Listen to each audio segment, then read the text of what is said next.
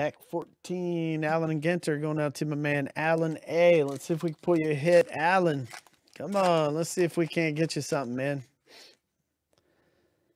Allen A. Let's see if we can get you something. All right. So we got the skateboarder guy. It's Rodney Mullen. Uh, we've got Carlos Santana and and uh, the Yankee Killer right there. Is that is that a fair nickname now? The Yankee Killer. I feel like buying this card from you right now and putting it in a magnet and setting it up in the back. You know what? I, I swear I've got to put this thing. It's I, I love it. The Yankee Killer. I love it. And then we've got the uh, Kristen Stewart. And check this out, man. These these are really cool. Um, this is one of the subsets in Allen Ginter, the History of Flight card number 11. So you'd be surprised.